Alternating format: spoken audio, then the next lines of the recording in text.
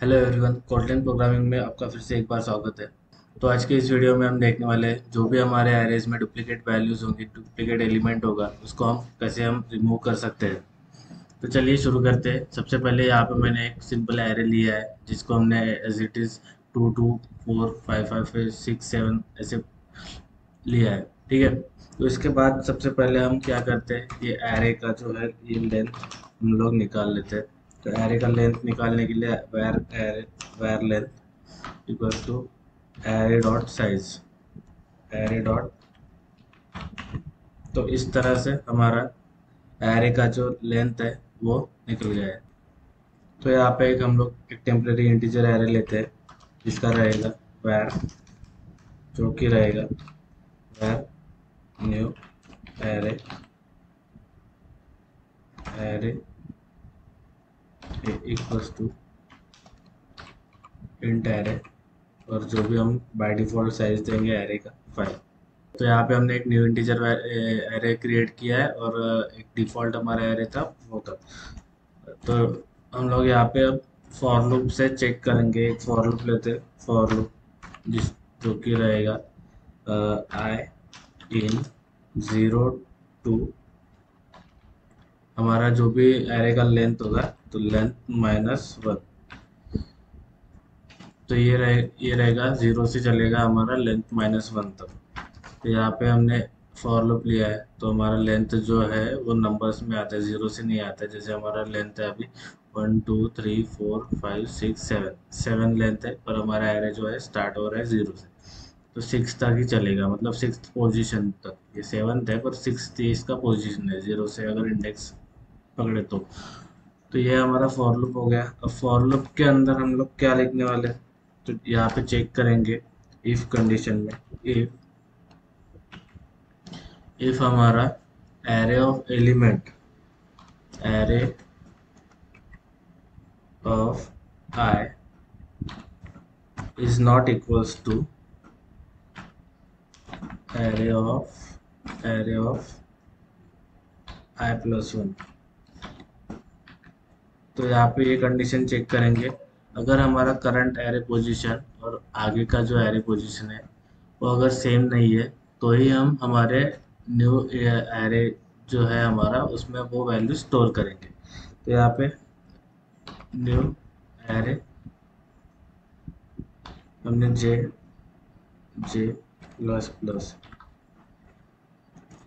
तो एक हमारा जे नाम का वेरिएबल लेते हैं इंटीजर जे नाम का var J equals to zero तो इनिशियली जे क्या है हमारा? ज़ीरो और उसमें हम लोग एरे ऑफ़ आई को स्टोर करके रखेंगे। यहाँ तक क्लियर है।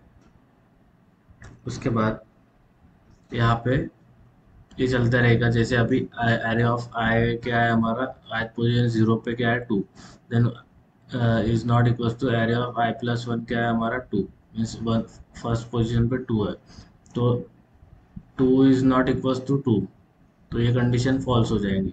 तो ये स्किप कर देगा।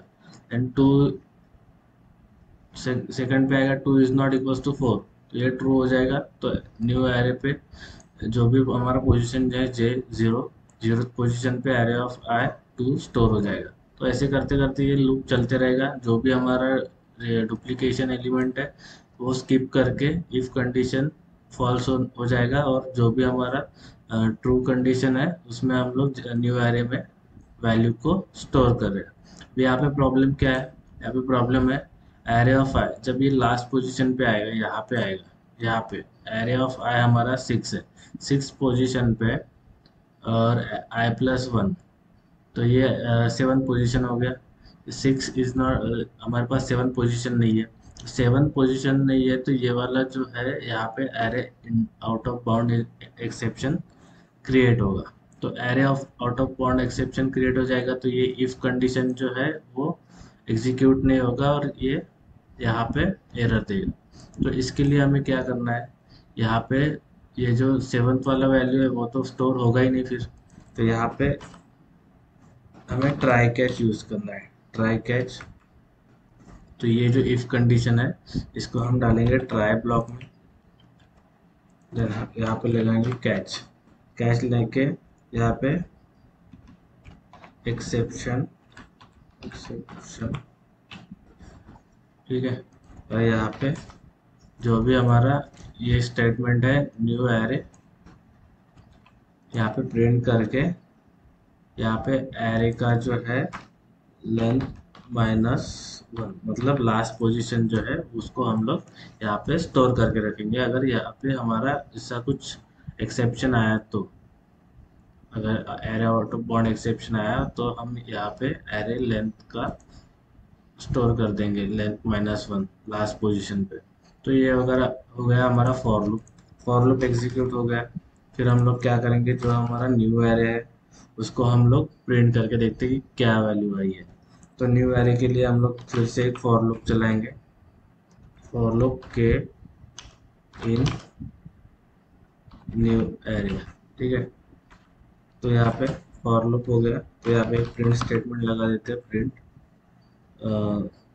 प्रिंट एल एन करता हूँ मैं। ओके ठीक है? तो ये होगा हमारा इस तरह से हमने कोड किया है तो रन करके देखते हैं क्या आउटपुट आ रहा है।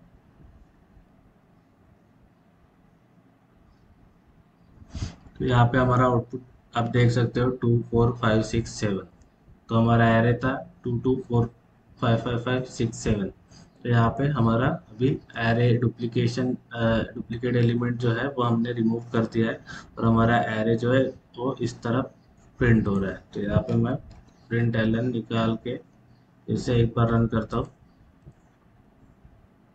तो यहाँ पे आप देख सकते हो two four five six seven तो यहाँ पे हम देख सकते हैं यहाँ पे ट्राई और कैच ब्लॉक लगा है अगर मैं ट्राई कैच ब्लॉक रिमूव करता हूँ तो क्या आउटपुट आता है वो भी देख लेते हैं एक बार।